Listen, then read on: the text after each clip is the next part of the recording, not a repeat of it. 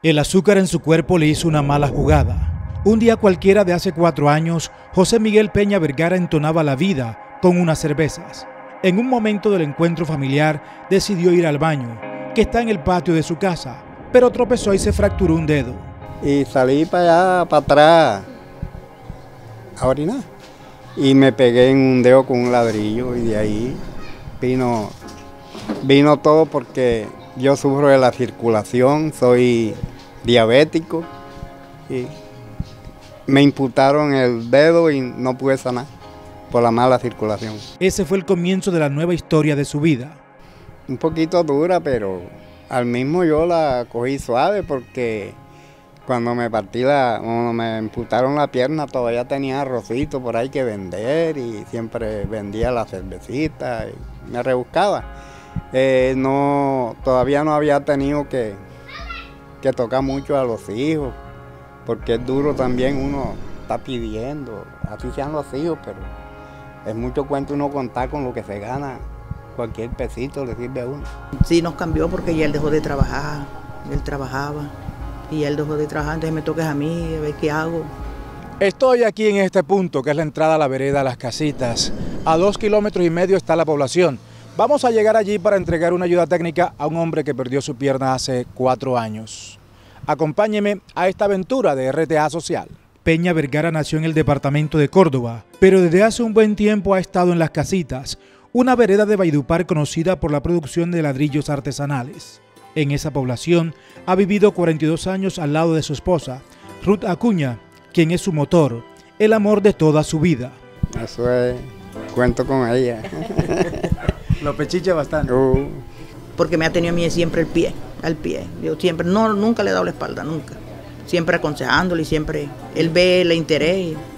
Y él siempre ha sido así, feliz, sonriente. Sí, siempre, sí, sí, feliz. De joven, trabajó en fincas ganaderas, luego en las ladrilleras de las casitas. a la ganadería, a trabajar en la ganadería. Trabajaba por aquí, por los lados del Blandón. Yo fui uno de los que fundé la ladrillera.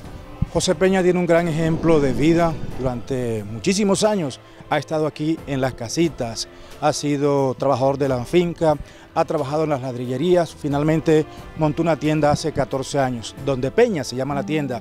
El día del tropezón con el ladrillo se volvió inolvidable para él, porque estaba celebrando su cumpleaños. Sin embargo, ese episodio no lo amilanó. Digamos que le da duro a uno, pero a la vez tiene que tener uno resignarse a las cosas que, y no ponerse mala, a darse mala vida, sino cogerla como Dios la manda. Es más, lo llenó de fortaleza para seguir adelante y enfrentar la vida de otra manera. En su lucha por ser útil, buscó apoyo para recibir una silla de ruedas y consiguió dos de segunda mano, pero no se resignó porque quería una nueva, acorde a sus necesidades.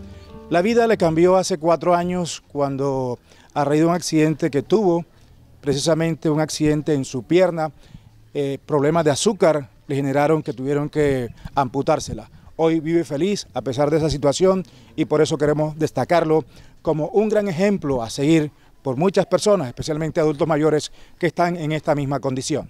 En un trabajo mancomunado de RTA Social, el programa de responsabilidad social empresarial de RTA Noticias y la Oficina de Gestión Social de la Alcaldía de Valledupar, se logró cumplirle el sueño de tener una silla nueva. Eh, estamos haciendo entrega de esta silla de ruedas para estrenar, ya que el señor estaba necesitándola con urgencia y que ha estado muy agradecido por habérsela entregado, se siente más cómodo, más amplio, más espacio. Entonces, muchísimas gracias de verdad por esta invitación. También alegre porque la silla de rueda también andaba mal. Yo que lo ruedo y andaba trabajosa. Tenía que cogerlo era así por detrás porque así por delante no podía.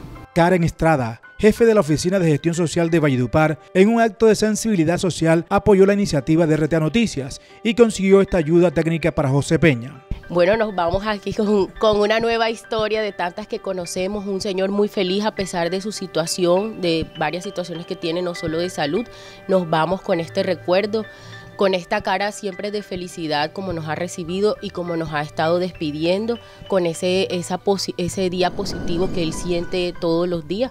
Y pues Muy felices de conocer al señor José. En Valledupar se han entregado más de 500 ayudas técnicas a adultos mayores de 60 años para mejorar su calidad de vida. Recibimos la documentación, la epicrisis, el, el CISBEN y su cédula al 150%. Nosotros recibimos directamente la documentación. Don José no solo recibió el apoyo de la alcaldía municipal, también RTA Noticias le entregó un regalo para estrenar en su próximo cumpleaños y un mercado con productos de la canasta familiar. Y en el canal, así como en la alcaldía, tiene unos amigos eh, que estarán pendientes y siempre atentos. Además, a la esposa de Peña Vergara, quien ha estado a su lado por más de 50 años, la alcaldía le entregará una unidad productiva por valor de 500 mil pesos para reactivar la tienda de nombre Donde Peña. Para que ella inicie o retome este negocio que tenía, le vamos a traer eh, arroz, eh, lentejas, frijoles, que es lo que ella ha pedido, y harina pan para que ella haga ese, ese primer negocio. ¿Y le gustaría reactivar la tienda? Claro, sí. ¿Cómo recibe la noticia de que le dijeron que le van a entregar un No, bien, bien, uh, alegre. Alegre con eso. A este hombre campesino lleno de esperanzas, Dios no lo ha abandonado nunca. ¿Usted ha visto la mano de Dios en todo esto? Claro que sí. Dios es el que sostiene a uno. Y todavía tiene sueños por cumplir. Terminar el resto de vida que me queda, pues no tan mal. Yo soy un hombre que, que no he estado acostumbrado a pasar necesidad un hombre que trabaja, un hombre que toda la vida, yo nunca estuve varado. Yo me le medía lo que fuera, menos a irme a coger lo que no era mío. José Miguel Peña Vergara es un hombre que brota felicidad, a pesar de las circunstancias que le ha tocado vivir, y es un ejemplo para otras personas que están en su misma condición. Que no se acompleen, que hay que seguir para adelante. A mí yo salí con miedo allá de la clínica porque la gente decía, no, el que le imputan que sufre de, azúcar, que es diabético, cuando mucho dura dos, tres años. Ya yo le digo a la señora que ya voy a llevar cuatro. es por ello por lo que podemos decir que cada mañana llega un nuevo día, nace una esperanza para quienes creen que todo es posible. Hemos conocido esta maravillosa historia de José Peña, un hombre que ha sufrido una situación bastante complicada, pero lo vemos sonriente, lo vemos feliz, acompañado de su esposa, 50 años de matrimonio, un matrimonio que ha soportado muchas situaciones, pero que hoy se mantiene firme. Un mensaje de esperanza, un mensaje de un renacer de una persona que, a pesar de su condición, vive feliz. Este es un informe de RTA Noticias desde la vereda Las Casitas.